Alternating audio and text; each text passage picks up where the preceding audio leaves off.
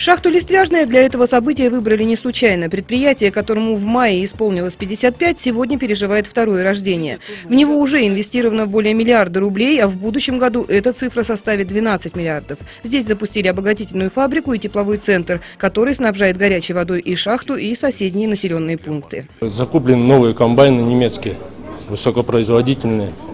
Также переоборудован комплекс ДБТ на более мощную лаву. И, естественно, и производительность повысилась. И сейчас вот, э, будет э, в следующем начале наверное, года запускается новая лава, так что уголь пойдет.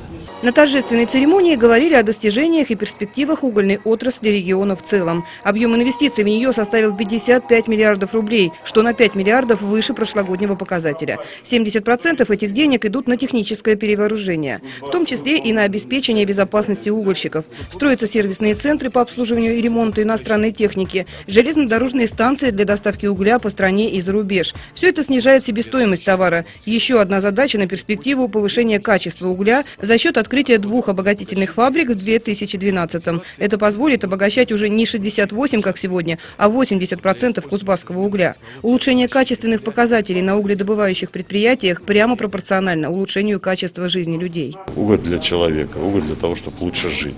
Я надеюсь на дальнейшее э, сотрудничество в плане социально-экономического развития города Белова и наших замечательных угольщиков.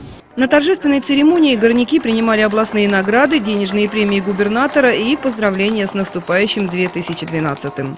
Горнякам, чтобы была крепкая кровля и твердая почва, и чтобы все возвращались домой, потому что их там ждут любимые, родные. В 2012 году хотелось пожелать, первое, это безаварийной работы на наших предприятиях, роста заработной платы, благосостояния семей, ну и, конечно, всем здоровья в следующем году.